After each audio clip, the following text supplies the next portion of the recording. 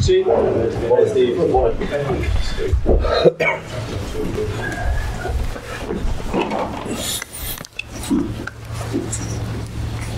Two six. Your, um, your, Two six. yeah, no.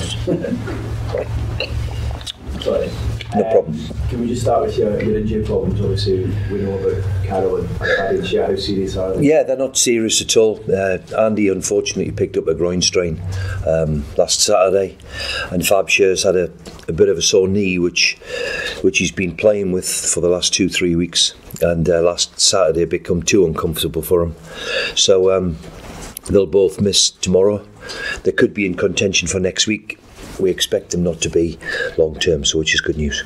Yeah, I guess the biggest blow in all of that is you were looking like almost having a. Yeah, I mean, look, it's look here. I mean, listen, it is part and parcel of football. That's why we have the squads we have, especially in today's game as well. You know, yeah, they're going to pick up injuries, part and parcel of it. Of course, just when you think you had a clean bill of health, and you, pick up a couple. But the good news is that uh, Flo's close to a return, and so is uh, so is Matt Ritchie and all. So uh, he's bounced around the training ground all week. So uh, good to see him back and all. I guess with Andy Carroll, you always worry it could be worse due to injury risk. But we, Yeah, yeah. I mean, look, it's it's not his ankle. Thankfully, it's not his ankle. So, look, everybody can pick up.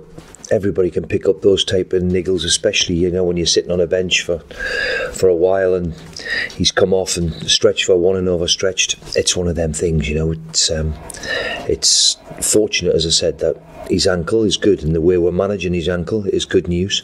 So uh, it's disappointing and disappointing for. There's nobody more disappointed than Andy, of course. But uh, look at these things happen.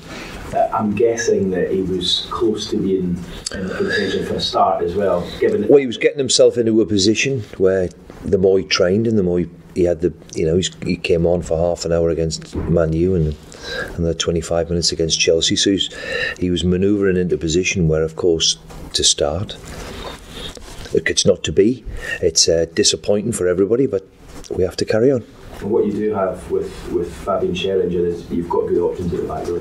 Yeah, I mean that's the one area of the pitch where you know we've we've got six centre backs. So if you include Dummy as a centre back, so in that respect, in that respect, we've got a lot of cover, um, which always is which is always a handy. Um, some better news for you this week with Martin Dubravka signing his long-term deal. How how key was it for you to get him tied down when you arrived here? Well, I mean, the, you know, when we've we've been speaking with uh, with Lee now for the last few weeks on on the squad and and where we see it fit, and uh, obviously Martin and I know Lee's in discussions with two, three others too. So that can only be a good thing. We want to tie down more good players. Martin's had a, a wonderful few months since he's been at the club, and has been rewarded. So um, in that respect, we're all delighted. He was pretty much plucked from nowhere under the previous. Yeah. A lot of people hadn't heard of him before. How impressed have you been with? him? Yeah, I mean, look, I can only look from afar. In the three months that I've that I've been working with him, he's a very, very good goalkeeper. So, you know, we, we've we unearthed one because you're right. Not a lot of people had heard of him, and it's essential for any big club. And if you're going to do anything, you need a good goalkeeper. That is the number one position um, for a lot of people. So. Uh, we're, we're delighted that he's tied himself up to the club. Can I just check on something you, you, you touched on just a moment ago? I know I asked you last week about the long staffs, particularly Matthias' contract. I think you said you're hoping to start. Well, they do, the, the two of them, um, I think uh, Lee, obviously Lee um, is in discussions with, I think they've got the same agent, so they're discussions with the agents, but these things don't take Yeah. one day anymore. I think with Martin, it's took the best part of two and a half months. So I'm quietly confident we'll get there. You know, with the two young lads who, who obviously have got a big, big future, and we want to try them up as tie them up as best we can. Now, what you have done the last few weeks is, I think you even said it yourself, gone back to basics, what the players know best. It certainly looked pretty tight at the back, but yet still. Yeah, yeah. Between the Yeah, that is the concern. Although we have played five of the top six, and if you include Leicester in there, we've played um, them as well. You know, so it's um, it, it's never going to be easy in that respect. And I think with the likes of um, certainly Joe and Saint-Maximin, the more they play, St Maximin he played the last couple of games in, in that respect. So it's one area where we have to improve. We are aware of that.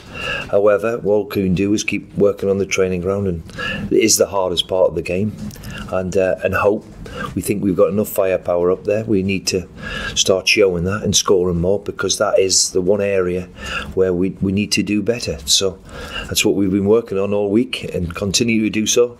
But it's easy on the training ground, easy on the training ground, not so, not so easy on a Saturday. Do you worry at all about Joelinton in terms of he obviously brings, he brings a lot to the team, but do you worry about his confidence the longer it goes on? No, I mean, he, listen, he's you know he's only young. He was only 23 a month ago. You know, so he needs time to settle. And how many times do you see it? How many times, even when you pay 60, 70, 80 million pounds, Pepe scores last night for the first time? It takes a little bit of time to adjust. Joe will be a fine player for this club. I'm absolutely convinced about that. We need to reassure him that he's a good player, and of course, with any striker, and it's the same with little Almiron too. With any striker, they breed a little bit of confidence of a goal, and um, let's hope this weekend is, is their turn. So, are you confident then that their spirits are still up despite? Yeah, well, they, they certainly they certainly look at in training and the way they, they go about their work, and uh, and as I said, I'm quietly confident that they'll that they'll manage to turn around the decent performances that they're putting in, um, topping it off by scoring a goal. And just finally, um, obviously. Wolves are a pretty tough team. They have yeah, good side. couple of years. Good side. last night, I think, and it, it looked like a fairly fairly strong side. Yeah, yeah. I mean, uh, I think they've played the strong side since they've gone into Europe. I think they've made it a, a priority, and I can only be quietly impressed of what they've done. I mean, they romped the championship a couple of years ago. But they finished seventh in the Premier League last year is a is a wonderful return. And the one thing they have got is they've got good players. They've got good players and played in a certain system, a bit similar to ours. And um, but do it very, very well. So they're a threat. They're a good, good side. Um, I think they've already played 17, 18 games this year and only lost a few of those. So they're a good side. Cheers, Steve. Thanks. Cheers. Steve, can you take advantage of that? Some teams have had a bit of a European hangover after these sort of midweek away games. Well, I think that's. Um, I think that's always a difficulty of it. We experienced it a few years ago at Hull. It is mightily difficult to um, to get that mindset of playing Thursday because always we play on a Sunday. Um, so you know the big teams who are used to it are used to playing repeatedly in Europe. You know they become accustomed to it but it can be difficult. I hope we can benefit from it. Um, let's hope they're really tired and bruised and battered and and, uh, and the plane's been delayed five hours. But uh, but look I think uh, they're a very very good side. So if we can if they hopefully are a bit fatigued then hopefully we can take advantage of it. One thing about Wolves and what managers instilled in them they don't seem to fear anybody do they? No they've well, they were, they were excellent, arguably as good a championship team as I've ever seen. I mean, they had three or four players who were, you know, shouldn't be playing in the championship back in a couple of years ago. So they've they've done remarkably well in a short period of time. And of course, I think they finished seventh in the Premier League last year and continued it on this year. You know, qualified for Europe. So they're a very good side with, with very, very good, very, very good players. It may be something the fans look at more than, than, than you do, but being in the bottom three, is, is there a psychological, psychological factor? Ah, well, nobody wants to be there, but I was always aware that the start we had was going to be um, was going to be difficult. As I said, playing five out of the top six, and if you put Leicester in there as well, then it has been a difficult start in that respect. So I think three points separates 10, 11 teams. So let's hope we can go and now start by getting a victory this weekend and uh, and pushing ourselves up the other end of the table. These are the sort of home games that I suppose well, they're all crucial. I mean, look, it's accumulation of points. I always think it's accumulation of points, and but we're at home against um, against a very decent Wolves side. But um, we're capable. We know that we've got to play our best again to win. That's for sure. But we're quietly confident that we can do it. January is fast looming, and we've seen obviously with, with Andy having a, you know, a new problem, and then that kind of leaves you up quite short up front again. I mean, well, no, we've got Dwight Gayle. We've got Dwight Gayle back. So I've always liked Dwight Gayle. I've always thought he's been a very, very good player. As I said many times, I've tried to buy him three times, I think, and never been able to do it. Mm. So, um, in that respect, look, everybody picks up injuries. It's part and parcel. But the one thing you can't do is just keep collecting players. So we look at January and and and, and see what we need then. But, but as I've said repeatedly, January is a difficult month. So um, you know, let's concentrate on what we've got and what we can do with the squad at the minute, and uh, see what we can do in January. Steve, at ITV, uh, you know, you've played a uh, really top flight few sides the last few games. Uh, how realistic is some of the kind of fans' calls for a kind of return to that swashbuckling footballing style of the 90s? well, look, I mean, the swashbuckling team of the 90s was, was a wonderfully gifted team, and you have to have certain individuals to play that way. So I don't think we'd be quite that just yet. That might be the aim of course.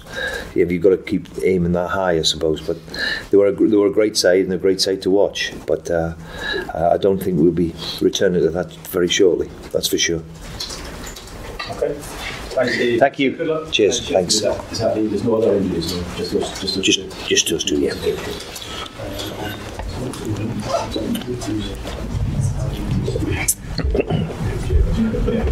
you. Thank you.